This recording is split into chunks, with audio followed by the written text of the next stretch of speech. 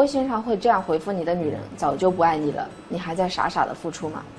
要知道，一个女人爱不爱你，从你和她的微信聊天中就能够知晓。如果一个女人会在微信上这样回复你，那就说明她不爱你了，你还在傻傻的付出吗？一，每次对你发回复都很敷衍。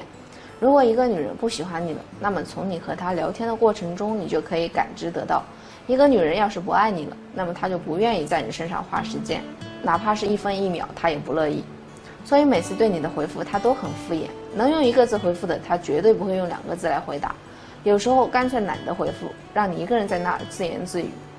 二，对你的语气总是很不耐烦。虽然微信聊天是看不出说话的语气的，但是我相信你可以感觉得到。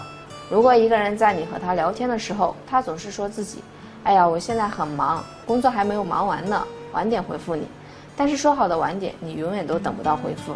当然也有可能忘记了，会忘记那也说明心里已经没有你了。